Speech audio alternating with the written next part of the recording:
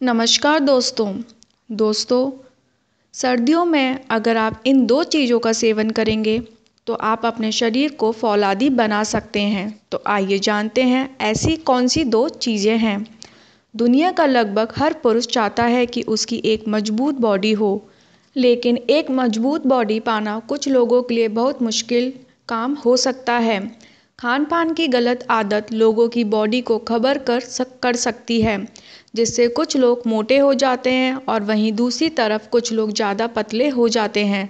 अगर आपका खान पान सही नहीं है तो आप चाहें कितनी भी एक्सरसाइज कर लें, आपकी बॉडी नहीं बन पाएगी।